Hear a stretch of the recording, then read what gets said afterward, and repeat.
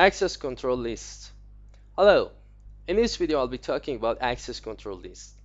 We're going to see what access control lists are, how we can create them, uh, what do we use them for, and how, the, how they're useful in our network, what are different types of access control lists, and how we can uh, monitor them, verify them, and where we do, uh, where we apply them. Uh, for this purpose, uh, first I'm going to go through the concept and then after that uh, I have created a topology and I'm going to walk you through that topology and show you how you can configure this access control list and how you can verify them. So first, what are access control lists? Basically, ACLs are list of conditions. So when I say a list, in this list, you in this list you have uh, a set of rules and conditions so in these rules, you'll decide what type of traffic is allowed to go into your network and what type of traffic is allowed to go out of your network.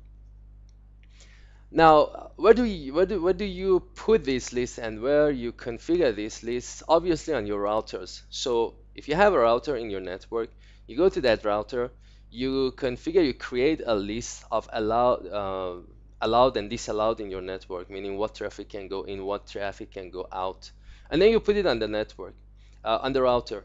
And then this router will control all these accesses to different uh, services on your system and controls different traffics in your network.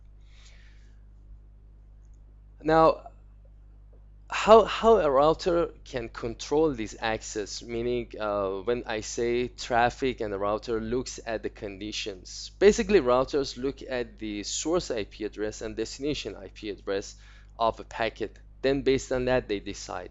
Of course, there are a lot of other things that routers will look at, like uh, source port, destination port, and layer fifth of uh, uh, TCP/IP, uh, uh, sorry, OSI reference model, um, meaning uh, checking if the connection is established or not. All these things I'll talk about them later, but for now I'm going to talk about basic or standard access control list. Now, when we say routers control traffic uh, based on source IP address and destination IP address. Now, if you look at this OSI reference model, in network layer, we have IP addresses. So basic access control lists work based on layer 3 of OSI reference model. Now, when I say I have packet here, if you look at the structure of a packet, you see that here I have the full packet, the whole packet. Part of this packet is header and part of that is data. Now if we go in more detail in this header of the packet, you'll see that uh, there are a lot of different fields here. But the most important one for us is source IP address and destination IP address. So my router looks at the source and destination IP address of a packet. Then it looks at the list and condition that I've created and if we can find a match with uh, the condition that I've created and the packet that it has, then it applies that rule to that uh, packet. Now, what are different types of ACLs that we have? We have standard ACL and we have extended ACL. So in this video, I'll talk about standard ACL and the next video will cover extended access uh, ACL. Now, what is standard ACL? Standard ACL works based on a source IP address, meaning it works at layer 3. Then when it receives a packet, it looks at just source of the IP address and not the destination. So you see how basic and how primitive is this access list. It just looks at the source of IP address, then it decides that based on the rules that I've created, it decides that the packet is allowed to go in or is not allowed to go in. So in here I've got uh, the router that I create this uh, access control list on it. Here you have a standard access control list and this is the router. Now imagine that this packet comes in to the router.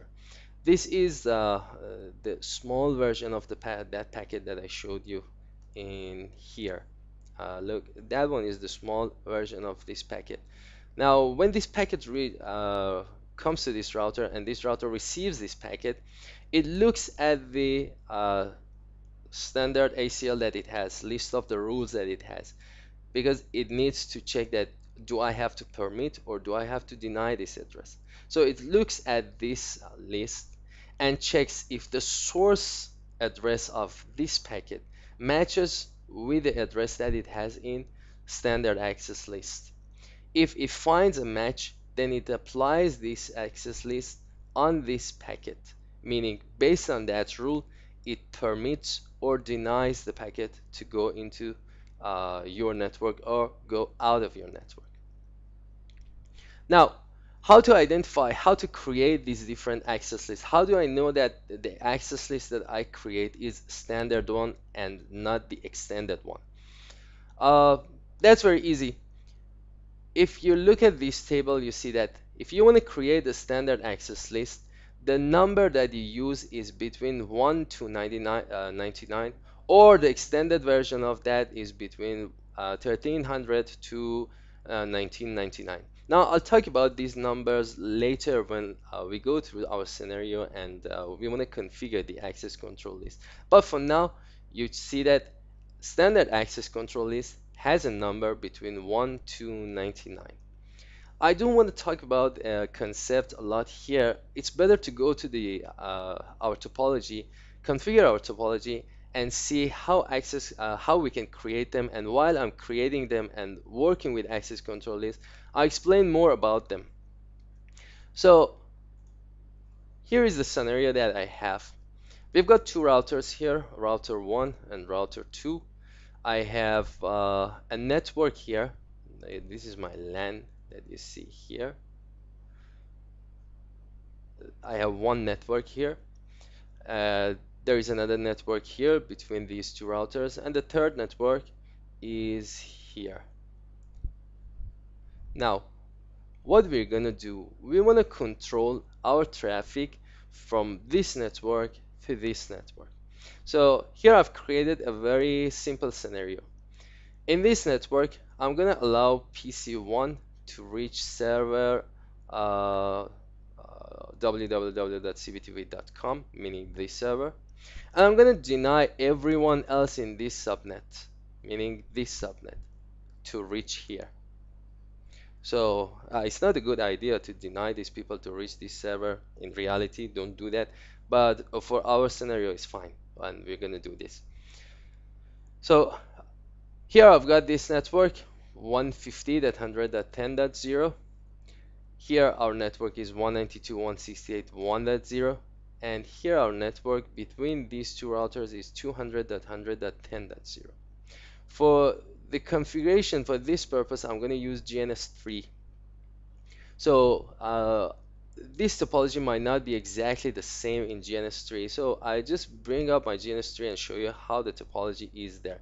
So one more time our objectives allow PC1 meaning this PC to go through all these routers and reaches server cbtv.com and I'm gonna block anyone else in this network to reach this server meaning all these other computers are blocked from getting access to here.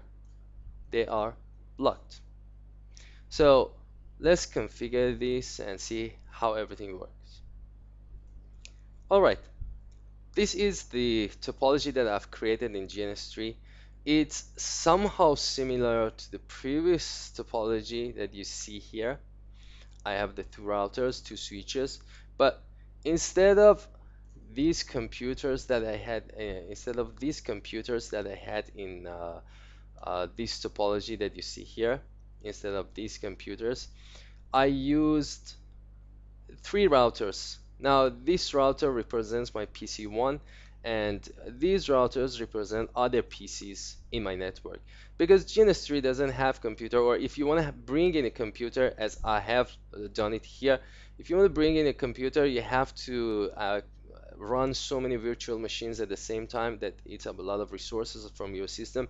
So it's better to use routers and uh, look at them as PCs. Here's my router 1, router 2, and this guy here is uh, the server that I had, meaning cbtv.com server. So now uh, this cloud here represents that server. Here in this cloud, I have this uh, I have connected this cloud to a virtual machine. Uh, in previous videos, I have explained to you how to connect your virtual machine to uh, GNS3. Uh, if you don't know how to do that, go and watch that video so you know how, then you learn how to do that. Now, this computer, uh, this virtual machine is already connected to uh, this uh, switch and the whole topology is up. But I haven't configured uh, anything, so I'm gonna go through everything and configure uh, everything that we have one by one.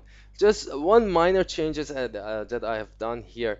The network that I have here is 192, uh, just one more dot is extra here, 192.168.2.0. Uh, if you remember, I said the network here is 150.100.10.0. So I just uh, I just changed this address uh, so instead of this address I'm gonna write uh, where can I write here 192.168.2.0 slash 24 this is the new network address that I'm gonna use.